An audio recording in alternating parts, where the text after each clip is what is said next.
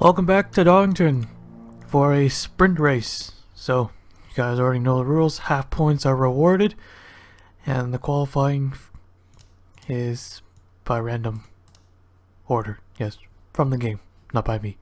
Nick Kennedy, he drawed first, so he gets to sit, well, first. You can already see the full qualifying results, and here's the race command. Drivers, start your engines. Engines fired up. Here we go. So half the distance from yesterday's race. Should be interesting.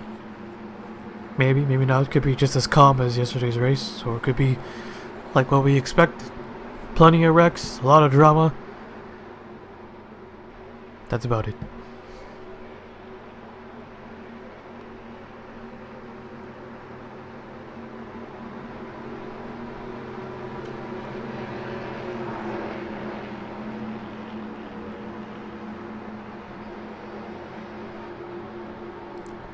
So let's uh, talk about points. Who is our points leader after the first Darlington race?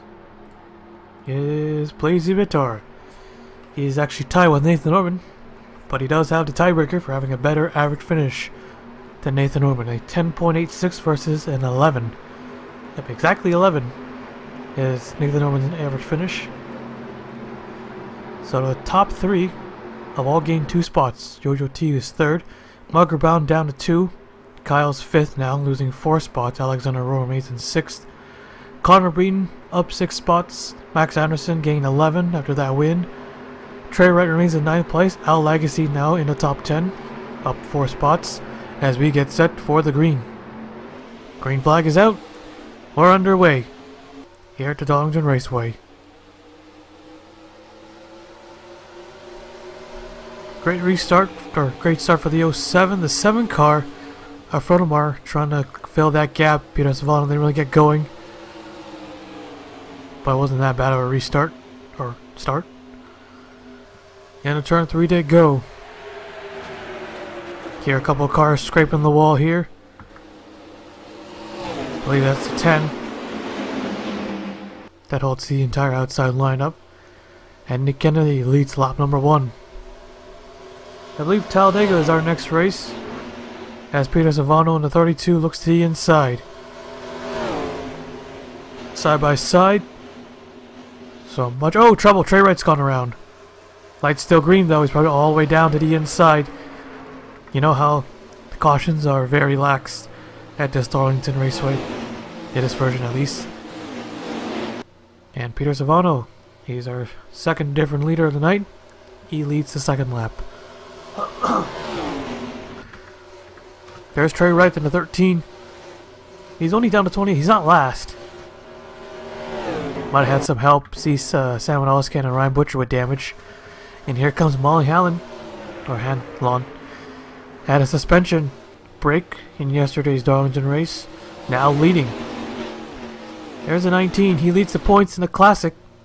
I think. Still. Or, but he's the last in this series. Yes, he is last despite winning one race this season.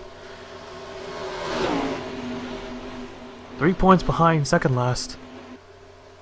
17 still has the lead. Here comes the four car, who's now third in points.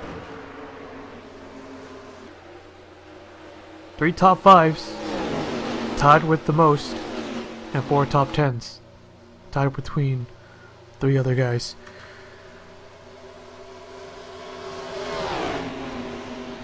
So far, there's been a lot more action tonight than there was yesterday's race.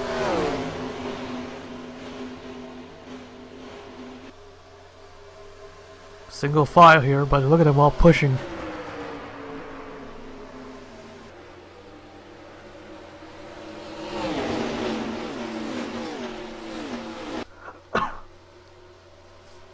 Alexander Rowe. He looks to the inside. He stays put. Phone alarm to 7. It came in the 07. Someone's yet wanting to make a move, but they're staying in line here.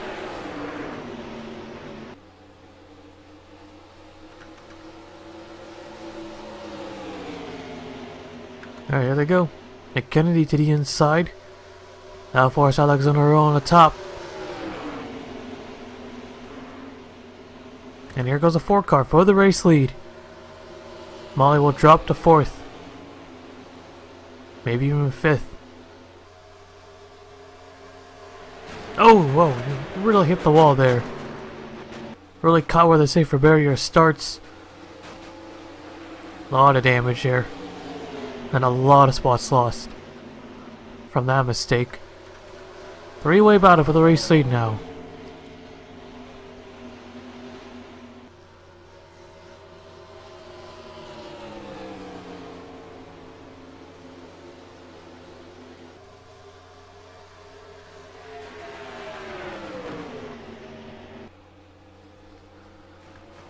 More cars in the wall. Peter Savano, he just scraped it.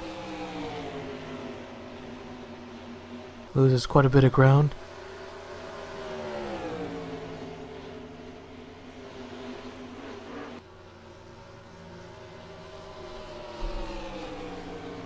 So from first all the way to sixth in the points, no one has gotten a win yet.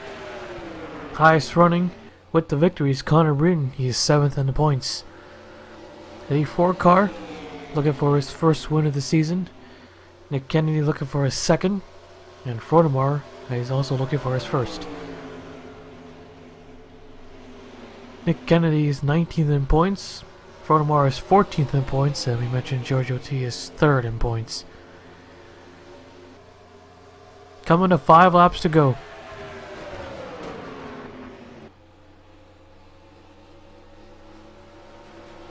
You can hear more cars scraping the wall here.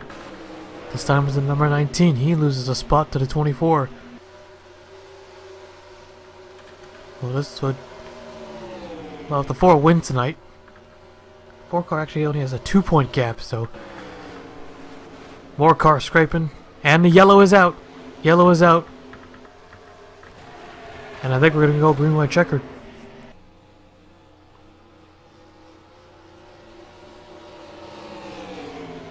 Maybe, maybe not. We'll see. But I think we are. Yeah, we are. Alright, we'll take a look at the replay. Take a look at this. So we got Peter Savano, Brian Benjamin, and Noodles. They're going three wide. Three wide through one and two here at Darlington. You know they're gonna wreck when they go three wide here at Darlington. The nine car gets caught up in it. 81 car, a lot of damage. He, even though he drives away from, you can already see the smoke spewing out.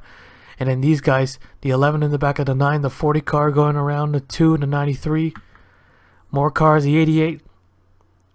41, 55, the 13. Yep, there he goes. Upside down he goes. And a big, big wreck on the back straight. Now this is Darlington. This is what we expected. Few guys able to drive away from it, like the 2 car, the 55, and a 9. They should be alright. 92. He's done 11, 13, 78. Let's take a look at the second part of the, the second part. See the 88 car, Max Anderson, who won the yesterday's race, was running on 25th. He got the 10 car. And the 78 Andrew Johnson, where did Hoodie hit? I think he hit Benjamin as well.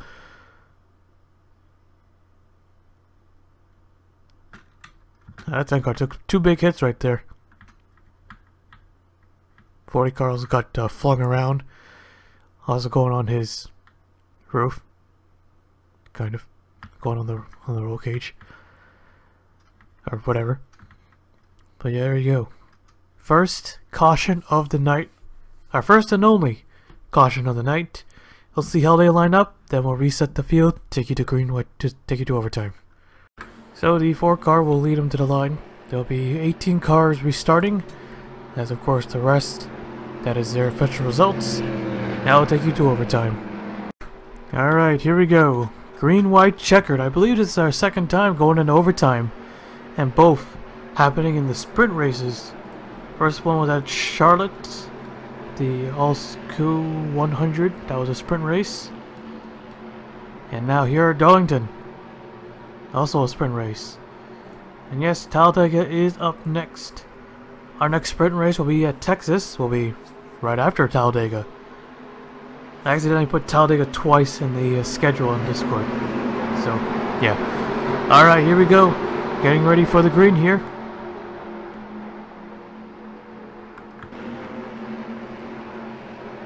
Several drivers looking for their first win of the season. Green flag is out. Horrible restart for the 7 car.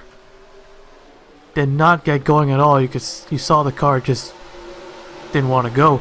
That opens the door for these two. Not quite. They're going to stay on the outside. Oh, contact. And there they go. Nathan Orban's going to go around the 19 to 7. And they're wrecking behind multiple cars.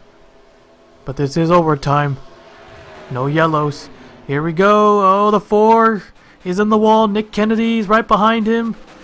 Side by side, Nick Kennedy in the 07 goes right by. He retakes the lead. White flag is out one more time around.